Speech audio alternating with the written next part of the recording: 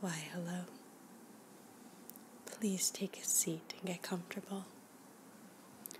There's no need to be nervous. As you well know, I am Countess Bathory. But if we get to know each other a little better, I may permit you to call me Elizabeth. Now, aren't you a pretty young thing? Why don't you tell me a bit about yourself?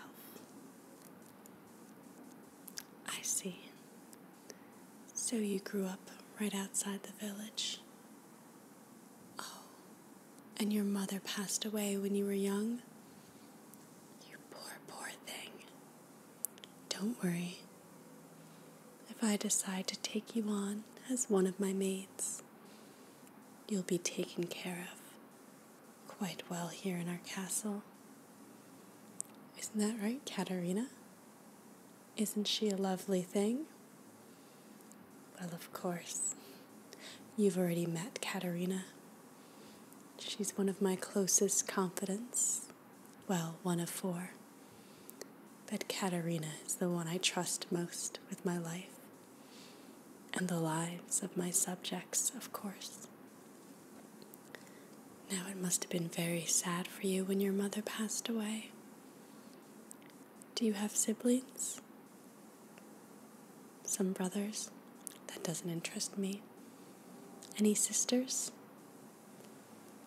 An older sister. How old is she? Oh, that's far too old. No. And she's unmarried, a spinster. No, no, that won't do. Just you yourself is fine. So, have you heard of me before? You have? Well, I'm not surprised. Yes, I know that my name is spoken about in these parts of Hungary. Well, you know, being a countess, it has its perks the money, riches, and jewels. Do you like my necklace? Yes, it was a gift from my late husband. You've heard of my husband, have you? Yes, my beloved Ferenc. I was engaged when I was only 10 years old. Of course, we didn't marry until I was 15, and he was about 19. Such a handsome young man. Very cruel. Never to me, but he was in the military, you see. And, um, well, when he had captured troops on the opposite side and needed to teach them a lesson, he had um, some interesting forms of torture. What's wrong? You look as white as a sheet. Don't worry. My poor husband is long dead, and I've inherited his title. Well, rather, I already had the title but now I have the lands and the castle, and I'm quite content. Yes, I don't think I'll remarry. I'm not sure that I'm meant for marriage. But I did love my husband. He always had such interesting tales, the things he could do to another man. You'd be very surprised what another person can withhold until they just give up and surrender their lives and their dignity. Well, it's quite amusing, but I'm no stranger to this. My entire family, my brothers, uncles, um, even some of my cousins have all partaken in a bit of, um, well, it's not easy to be part of the noble class in this day and age, especially when you have royal blood in you, so it's natural that sometimes we have to bend the rules. But I'm sure you've heard some rumors about me. Maybe some nasty rumors in the village. Oh, you poor thing. You're shaking like a leaf. Don't you worry. No harm will come to you. Not really, anyway.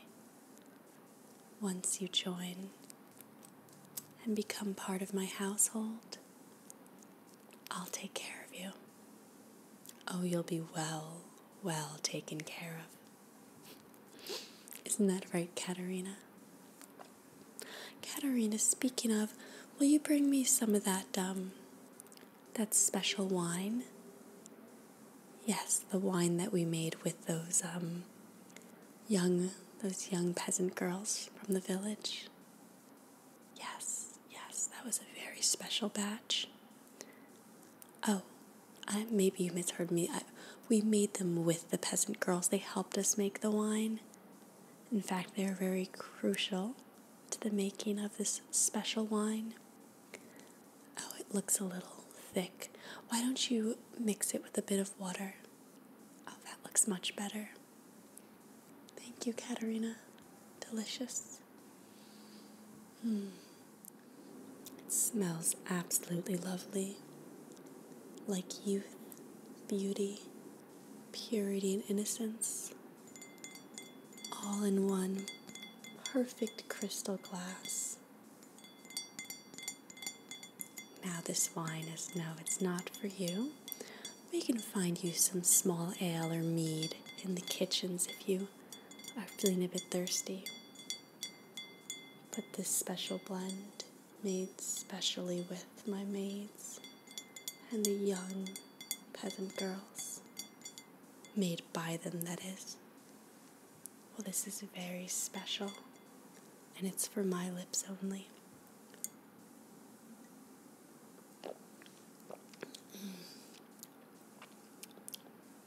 It's very delicious. It's a little sweet, but also bitter and metallic. Can feel the life coursing through my blood as I drink this, through my veins. Just one sip, and I feel years younger. Hmm. But anyway, we were talking about rumors you might have heard in your village. Oh, sweetheart, there's no reason to look so afraid. Like I said, I'm going to take very, very good care of you. Now, I just want you to know those terrible things you might have heard. Well, they're not true. Not really, anyway. You see, they likely all come from a man named Thurzo. No, you wouldn't have heard of him, but he would have spread it to the smaller lords and nobles, along the aristocrats, and in those minor households, they might have whispered them to their maids, and thus you may have heard of them. But you see, when my husband died, I was entrusted to Thurzo's care. He was supposed to protect me and help me and my children to keep this estate running. But, well, between you and me, I think Thurzo wants all the money and power for himself. but I'm a Bathory, and I won't relinquish my power for anything. I mean, I'd sooner torture young girls and bathe in their virginal blood rather than, you know, give away my fortunes. In fact, I'd much prefer to do that. Oh, don't look alarmed, darling. I'm just kidding.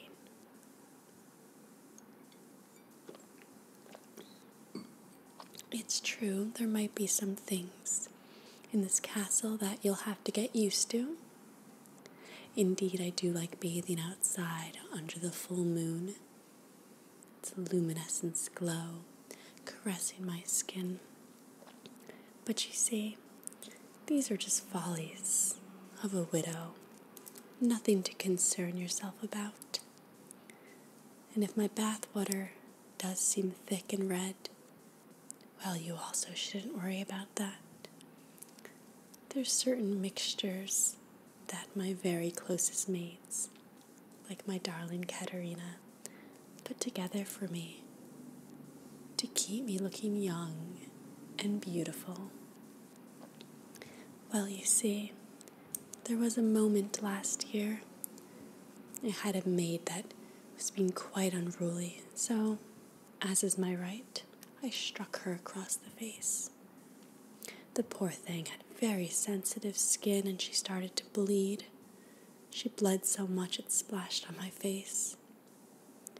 And as I wiped the blood off my face, I couldn't help but look into a looking glass and see I looked so much younger, so refreshed. All because this young, pretty, virginal girl bled on me. You must think that's a silly story. How could a young girl's blood make me younger? Well, you know, when I was a little girl myself, I suffered from seizures. Well, I have a doctor um, from the East who calls it seizures. Of course, I've always been told all my life that it's just the falling sickness, probably due to um, some tainted blood along the way. You know how us royals are always marrying each other's cousins and so forth. Well, as you see, a treatment they gave me when I was young was to give me the blood of someone not afflicted with my disorder. So you see, well, blood is a very powerful tool in medicine, in health, in rejuvenating ourselves. But like I said, you don't need to worry about that. Now, I just have a couple of questions to ask you before I can fully take you onto my household. Could you remind me how old are you? Oh, that's a lovely, lovely age. So young and innocent. Now, this question might seem personal, but it's very important. You see, the ladies around me have to be pure and innocent. I can't take any scandal, especially with Thurzo spreading rumors about me in the village. So, you don't have a lover, do you? Or have you ever had a lover? You are indeed in Virgo and Tacto. Very good. Oh, there's no need to blush. Look how, look how pretty you are when you blush. All the blood rushing to your cheeks. You look like you have a lot of blood coursing through your veins. Innocent, pure, young blood. Well, that makes you very, very special. Well, I would say that um, you've matched all the criteria needed to work for me in this castle. Yes, you'll be paid very, very well as you can see, I'm quite a rich woman, and I'm happy to share my riches with those who offer me what I need. And I can see you're just the type to give me what I need. Now, there's a couple of rules. As I said, the women in my house have to be very pure for various reasons. Because of that, you'll notice it's mostly young girls in my household. Um, but in the occasion that you do run into a young man, you mustn't speak with him or be seduced by any of these quick talking, sharp witted men.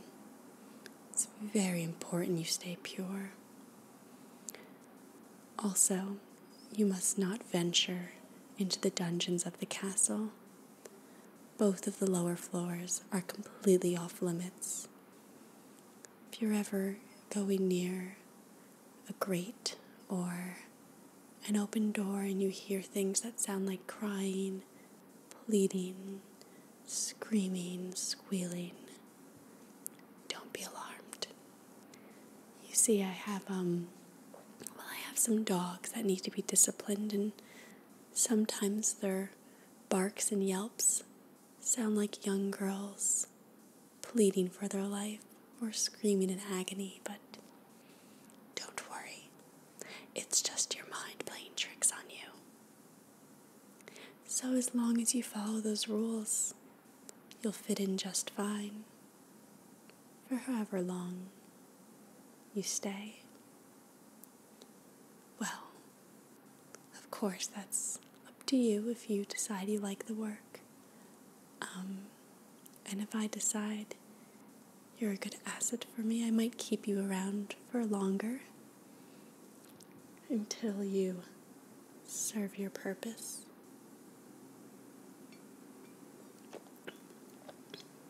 But I can say that you are a very, very pretty young thing, and I'm quite charmed by you.